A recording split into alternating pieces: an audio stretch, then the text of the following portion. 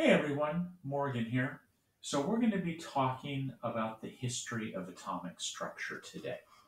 And this is part of a much bigger unit that we're doing called Atoms and Light. So we're on page one of your new lecture outline. Now we're going to talk a little bit about our major contributors to the ideas of atomic structure. Now we're going to begin with Democritus, who's pictured here on this stamp from Greece. Okay, you've got a guy that was alive, you know, 2,000 plus years ago. Okay, and he is the first person that we have saying that atoms were indivisible and constantly in motion. Said that all stuff is made up of smaller particles. Now, we're not going to say that he's the first person to ever have this idea. In fact, he probably wasn't. But he is the first recorded person saying this. And he makes reference in his writings to a guy named Leucippus. Okay, so that could have even been before him. So this model of the atom that Democritus gives us is a small hard particle with no internal parts. Now, jumping 2,000 or so years forward, we get to a guy named John Dalton. Now, Dalton's work happened over a long period of time, but some of the most significant publications were in 1808. Okay, and he developed what we call the first modern atomic theory and revised it over quite a bit of time. Now, the fundamental theme still to Dalton's theory is that elements are made of tiny particles called atoms. Okay. Now, the word atom itself has an interesting origin. In Greek, atomos we would spell it A-T-O-M-O-S, means indivisible or uncuttable. And Democritus had referred to atoms as being atomos, as being uncuttable. So we have kind of uh, modernized the word into atom. Now, atomos does not mean atom, so let's not make that mistake, but it was a description of them. So Dalton's theory, elements are made of tiny particles called atoms. Now, there are four parts to his theory that we need to know. The first statement is all atoms of a given element are identical. So if I have a carbon atom and you have a carbon atom, there is really no way to tell them apart. The second statement is that the atoms of a given element are different from those of any other element. Okay, the atoms of different elements can be distinguished from one another by their respective relative weights. And at any point you need to, you can pause this to finish writing down any of these statements. Don't worry about that. So, this statement is not 100% true. We now know that you can have carbon atoms that are different from other carbon atoms. Okay, they're still carbon atoms, but we have these things called isotopes. They have different masses. Now, at one point, we actually thought different isotopes were different elements. Third statement, atoms of one element can combine with atoms of other elements to form chemical compounds. And a given compound always has the same relative numbers and types of atoms in it. Now that was our whole second unit this year, how to put together different compounds.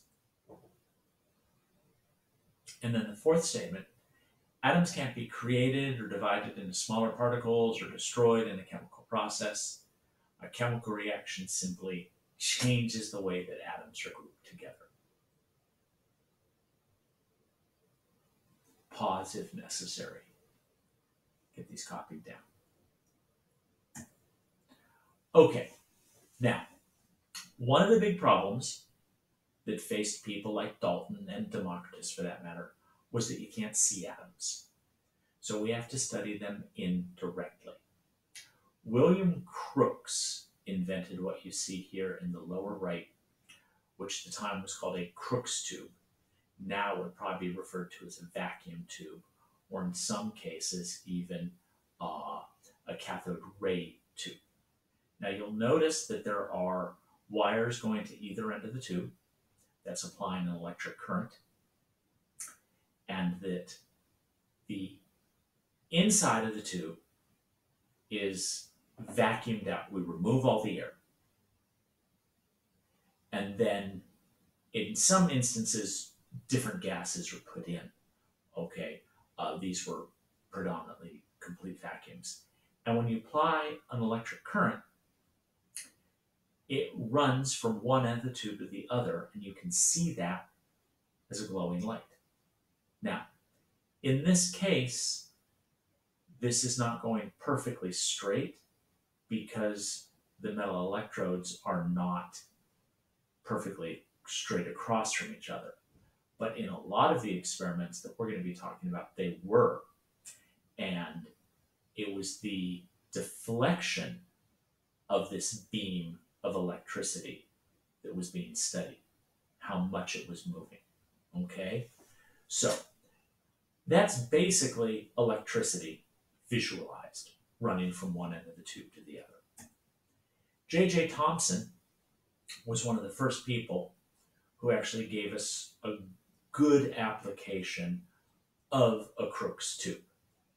And the culmination of his work was really published in 1897, okay, in an article called Cathode Rays. Now, generally, textbooks give J.J. Thomson credit of discovering the electron. Now, what he did was he took one of these cathode ray tubes and he applied a field to it by using a very large magnet. And he was able to deflect the stream of electricity, the glowing stream that you saw in the previous slide.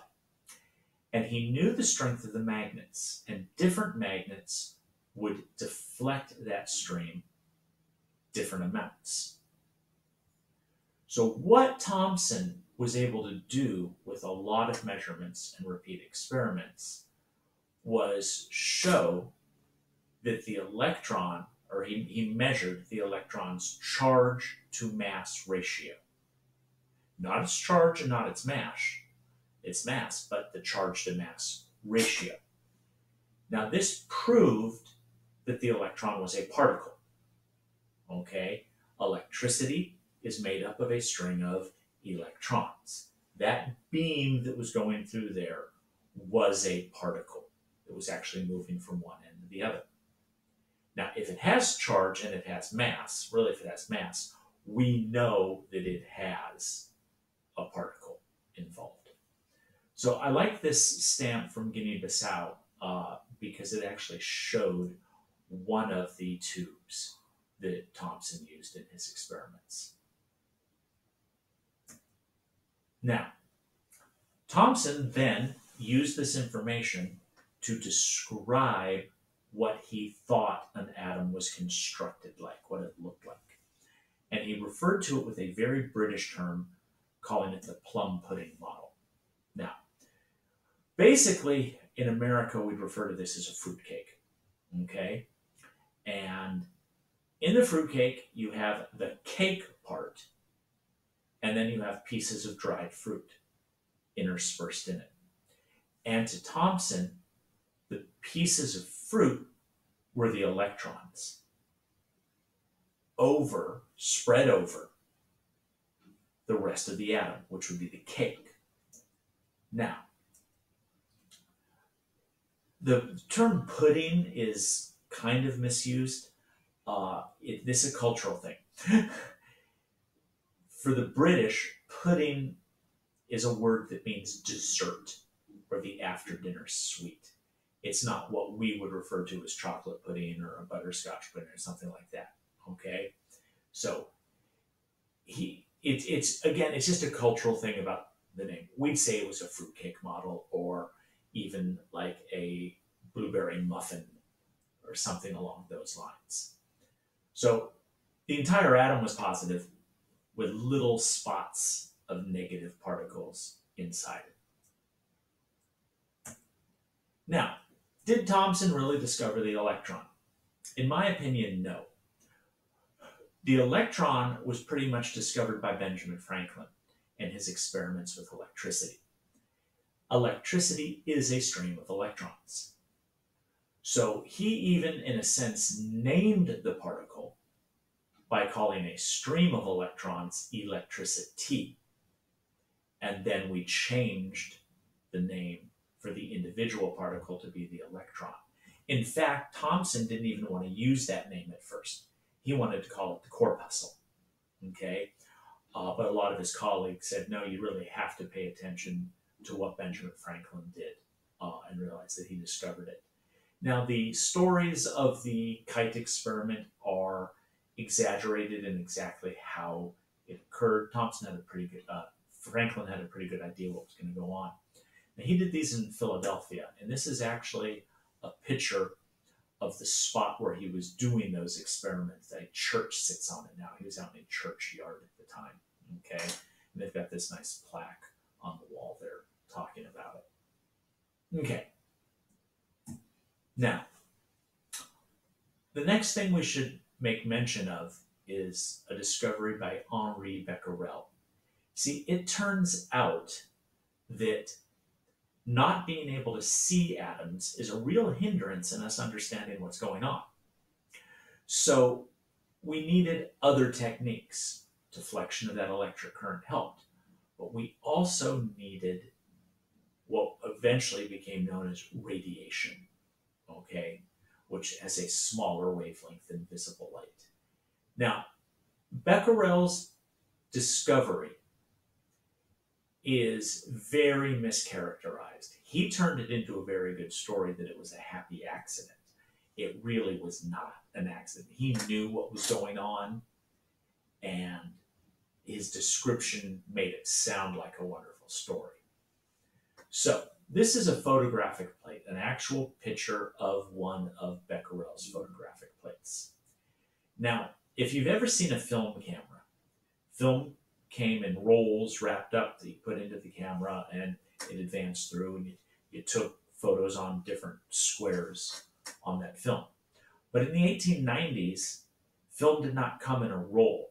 It came on just one single plate, okay, that might be four by four inches or five by five inches, you know, relatively big.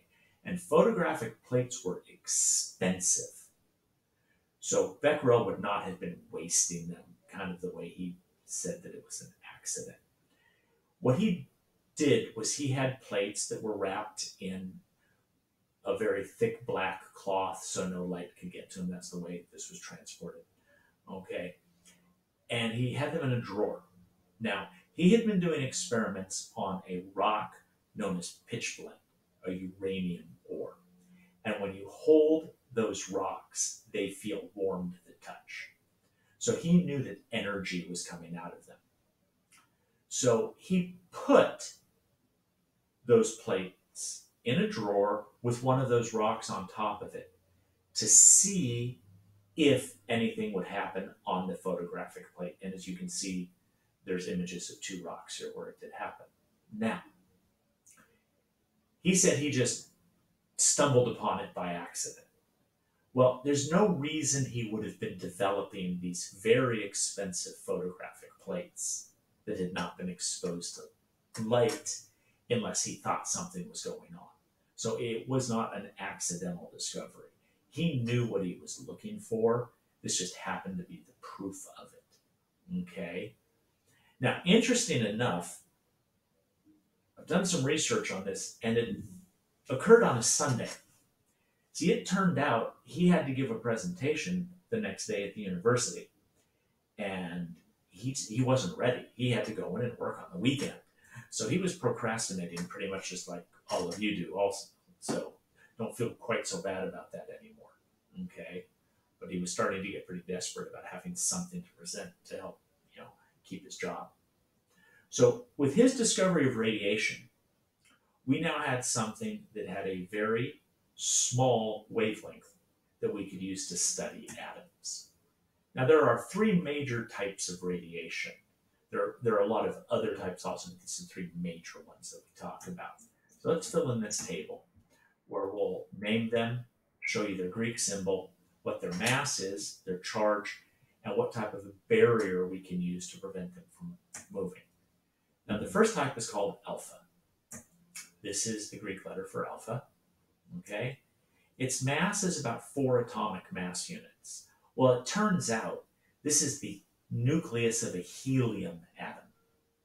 So the way that when you look at the periodic table and you see 4.00 grams per mole for helium, if you're dealing with just one atom, it's four atomic mass units. The charge is a 2 plus, okay?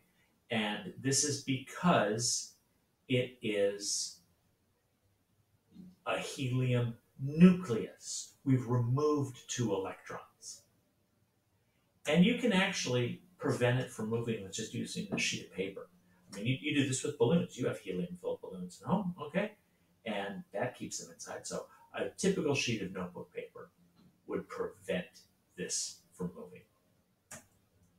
Now, beta radiation, that's the symbol for beta, very scripty B. Its mass is almost nothing.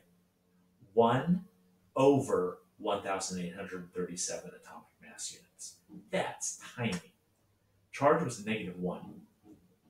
But because it's so much smaller, lighter, faster than an alpha particle, you actually need like a one inch sheet of plywood to protect yourself from beta radiation. Let's be honest, it's just an electron. That's what it is. It's just a stream of electrons. Now, gamma radiation, that's its symbol, has no mass. It's not actually a particle. It has no charge. It's not a particle. It's just pure energy. And because of that, you need lead as a barrier. And most of you, I'm sure, have memories of being in the dentist's office and when they do dental x rays, putting that lead apron over you. Okay. Now, radiation made something called the gold foil experiment possible. Ernest Rutherford, okay, was the first person to do this experiment. And when he was doing it, it was to determine the size of gold atoms. Now, it worked real well. He took a uranium source of alpha particles, put it in a lead box so that he could focus it, and he shot them towards a thin piece of gold foil. And the majority of these alpha particles just went straight through. He detected them by putting a screen up in front of the plate that had a luminescent paint on it. So it would basically just, you know, sparkle when hit. Now, the interesting part here is that he def- saw deflection. Some of the particles didn't go exactly straight through. And he realized he could measure the size, the radius of a gold atom that way. And it was a very successful experiment.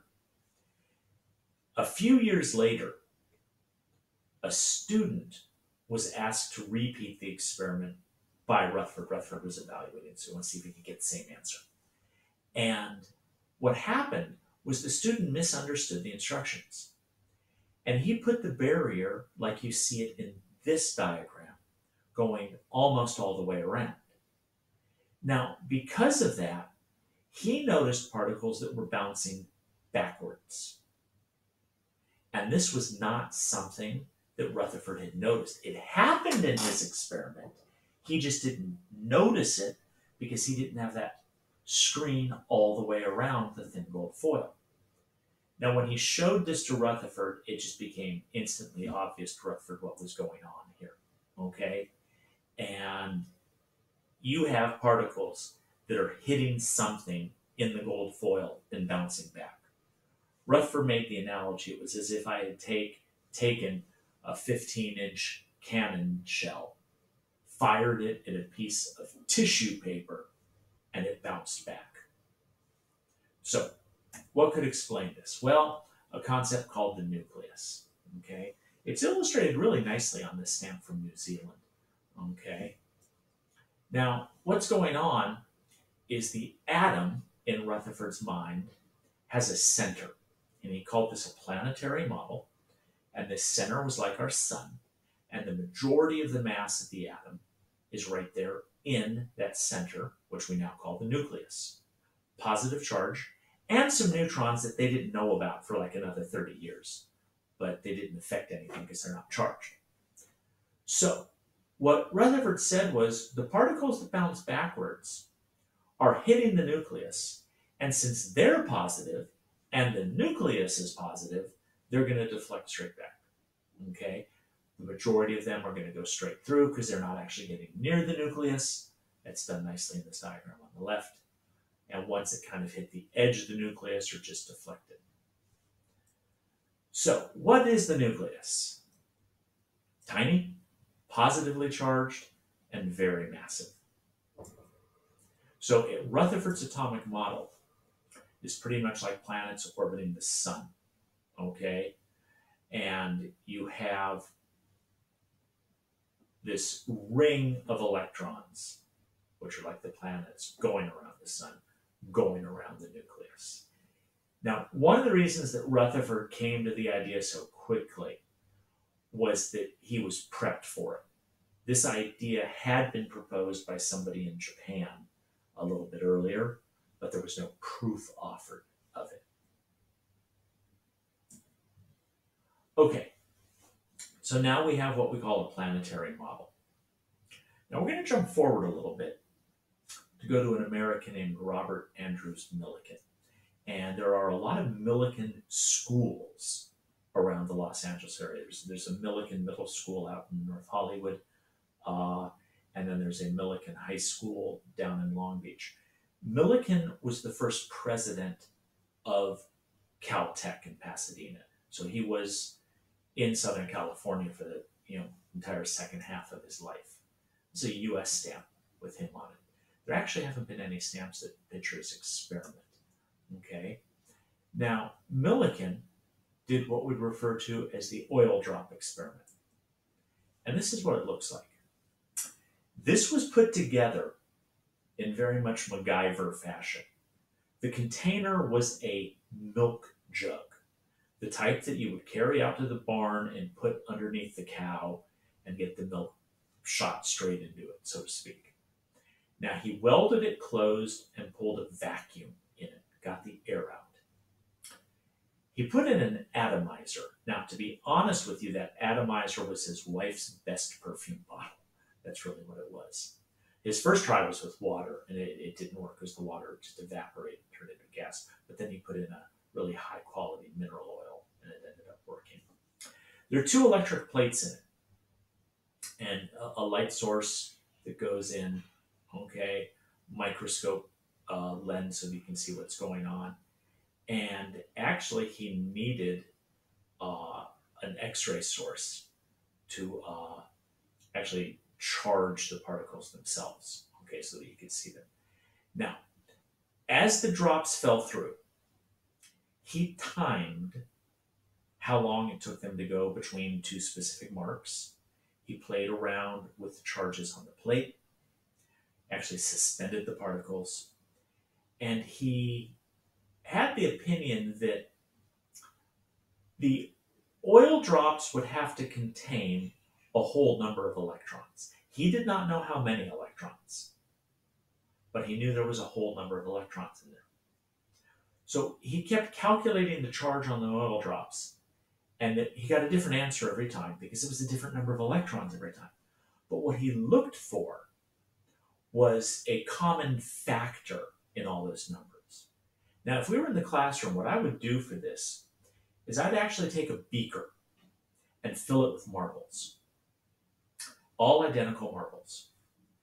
And I'd go up to the first person in the front row and tell them to take out some marbles, and I wouldn't say how many and they'd pull some out. We'd put that on the balance, the beaker with the leftover marbles, write the number on the board, put the marbles back in. Then the second person in the row would take out some marbles, probably not the same number that the first person took out, and we'd find it's not. And we'd keep doing this over and over again 10, 20, 30 times, although for Millikan it was about 15,000 times. And eventually a pattern would emerge for the masses that were leaving. Okay? And for Millikan, a pattern emerged for what the charges were, the differences in the charges. And that was how he measured the charge on the electron. Now, because J.J. Thomson had given us the charge to mass ratio, he could do some math and actually figure out the mass of an electron also. So some books mistakenly say that Millikan measured the mass of an electron. In reality, he measured the charge on it, and that gave us the mass. Okay.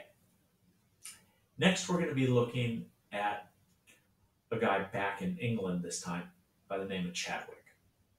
Now, Chadwick was not trying to discover new particles. He was just trying to get more precise measurements of protons and he created his protons in an interesting way. He took helium, alpha particles, bombarded it onto some beryllium. Now, what that produced was carbon and nit- uh, a neutron. And as he was measuring these particles, he found that some of the particles that he was detecting didn't have any charge. So at first he started to refer to them as a neutral proton. Okay? And eventually came to the conclusion that what it was was a different particle itself. It had almost the same mass as a neutron. Okay? But it was a different particle. What it really turns out to be is a neutron and an electron that have fused together. Okay, so that's a little bit of the history, and I've put some reading up about it also, uh, which can help you with that. If we had unlimited time, uh, I would have actually gone into a lot more detail because that's about three days worth of lecture, but we just don't have that type of time this year. So now we're going to look at the concept uh, of atomic structure in terms of the number of particles that are present. And we've talked about ions previously, and earlier today I mentioned the word isotopes. So, what happens to an atom if it gains or loses an electron? Well, it turns into an ion. What if it gains or loses a proton? Well, it turns into a different element. But what if it gains or loses a neutron? It's still the same element. It's just a different isotope of that element, meaning it has different mass. So this is what a typical symbol on the periodic table might look like. You've got the element symbol, you know, O for oxygen. Now it will list a smaller whole number, which is called the atomic number. Most people refer to this with the letter Z, and it will also list something that we call the atomic mass. Now, the atomic mass is the same thing as the molar mass numerically, just with a different unit. The atomic mass is the mass of, you know, an atom, so AMU. This is an average mass, actually. Or in the idea of having a whole mole of it, it's the number of grams per mole of that element. Now, often we write symbols that look like this, where we'll have the, you know, the Mg for the element, and if it's charged, if it's an ion, we put that as a superscript in the upper right. And then on the left side, on the bottom, we put the atomic number, number of protons. And then we put a mass number. Now, the mass number is not the same thing as the atomic mass. The atomic mass is an average, but the mass number is always a whole number, and it represents the number of protons and neutrons in that specific isotope. So it will always have to be a whole number because you can't have half a neutron. It doesn't work that way. So the atomic number is the number of protons in the nucleus. The atomic mass is the average mass of all the isotopes of an element. And the mass number is the number of protons and neutrons together in a specific isotope, in one specific atom. Pause this as necessary.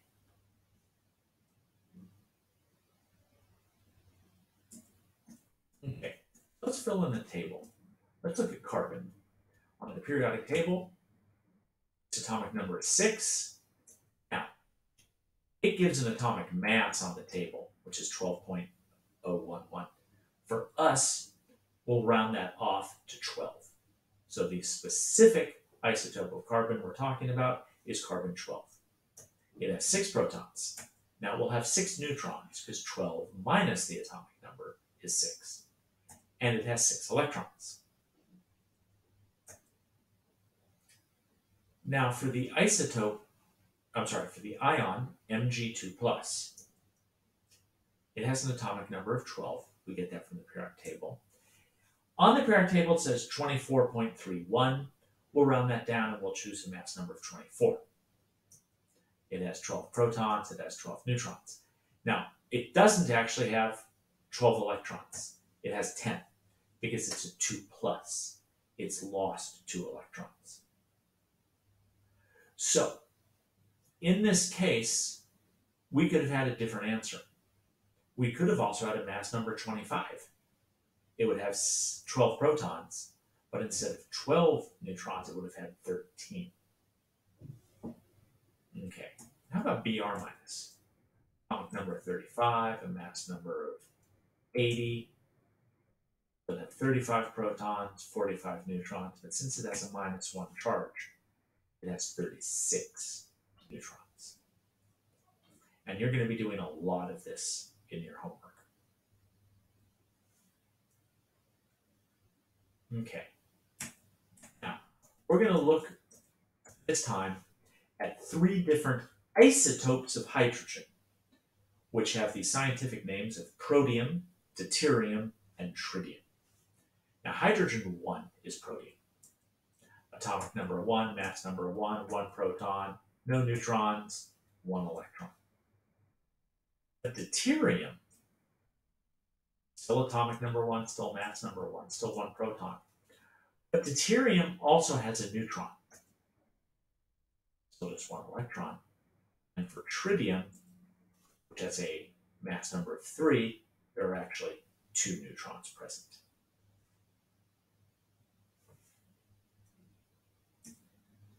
Okay. So we should talk about why the number on the periodic table is not a whole number. Atomic mass is an average mass. How do we determine these?